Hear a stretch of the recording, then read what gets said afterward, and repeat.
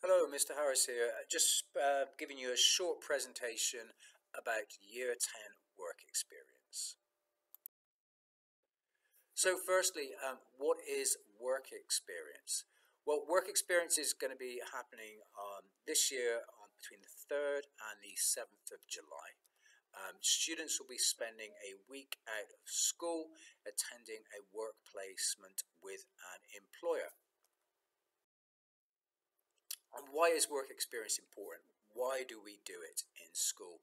It's really, really useful for our students because we find it's helpful for them to find out whether a certain type of career is appropriate for them.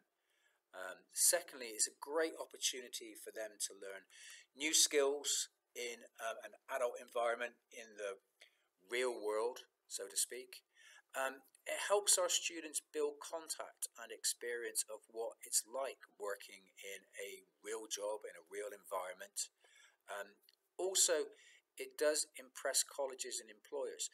90% of employers thought that work experience was essential for anyone applying for jobs. And finally, employers have felt that job applicants with good work experience were seen as more knowledgeable, more confident, and more committed. Um, between 44% felt that people, students who'd done work experience, were more confident. So where can a student do their work experience? Well, the short answer is pretty much anywhere. Um, all kinds of businesses offer work experience, um, restaurants, cafes, accountants, hair and beauty firms, art and design, education, engineering, solicitors, all kinds of places. Um, the only time it may be a problem would be if it's an, a work area where there may be age restrictions due to security or health and safety issues.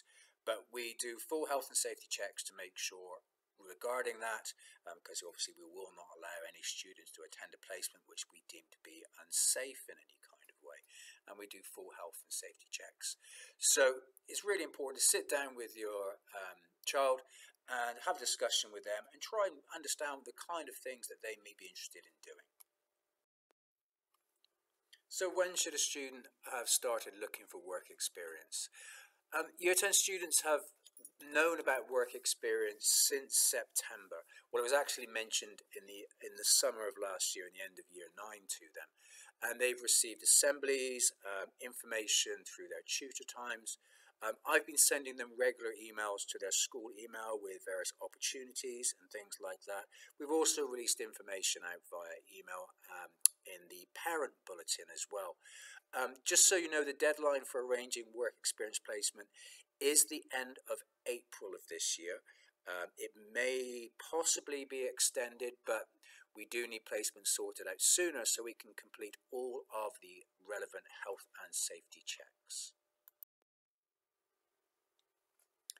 So, does the school arrange work experience placements for the students? Um, the simple answer to that is no, the school doesn't. The school does provide support and advice to students on how to get their placements, but it is the student's responsibility to find the placement itself. Um, we firmly believe this is an extra bit of learning and helps students build skills to develop their own independence and responsibility. Um, and like I said, we will give them support and advice and information and opportunities which they can take advantage of, but ultimately it is the student's responsibility. So how can a student find a work experience placement? Well, we've got a number of tips. First off, research using the internet, obviously looking in local papers for any nearby employees who might be able to give a placement. Emailing, telephoning, visiting employers in person is really, really useful. Um, researching companies which they may be interested in. Um, most importantly is word of mouth, speaking to friends, um, pe people like yourself, parents and carers, family members, and inquire if they can help out or support. Um, one tip which we use and suggest quite often is to actually use Google Maps. Um, so for example, what a person can do is they can type in their postcode and any career area they may be interested in, and Google Maps will give a whole list of those employers nearby. So in the example you can see I've put here, I've simply typed in BS13 and graphic design, and it shows uh, lots and lots of results of graphic designers in the local area who can be contacted to see if they offer work experience. So this is a really useful tip and we've had quite a few students who had success using this tip to find placements. A third tip is um, all students have access to the WebView website. This information has been passed to them via email and also during their tutor times. It's a great resource which gives information on lots of employers who have offered work experience previously. So if you remind your uh, child about this resource. It's a fantastic uh, resource to use to find placements. So, how should students apply to the businesses? Here are some suggestions. A telephone call is a great way to show that the student has confidence and initiative. It, it really does impress employers. Um, I do understand that for some students, phoning an employer cold can be quite intimidating. They're more than welcome to come and speak to me, and I can do the phone call with them if needs be. Um, visiting, popping into an employer is another great way to show that the student has confidence and initiative, and it also impresses employers. Formal emails or letters to businesses are also excellent. Um, it's important to ask your students to be patient.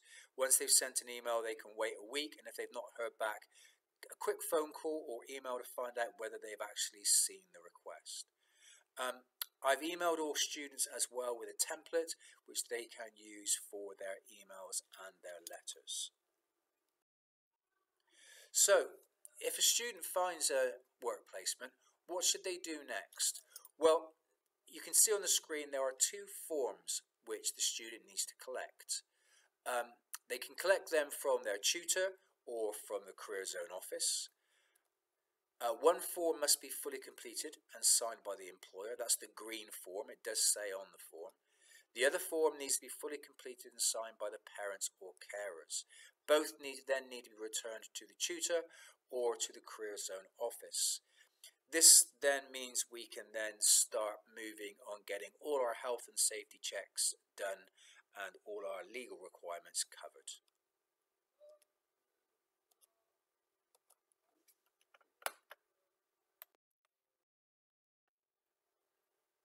So hopefully that's been helpful for you, giving you a brief overview of work experience, uh, why we think it's important and how you can support your child when it comes to getting their placements. If you have any questions or require further guidance, please do feel free to email me directly. My email address is below. It's sharris at bedminsterdown.org.uk. Um, email me and I will try and get back to you as soon as I can and offer you any particular help or support or answer to your questions. Thank you very much.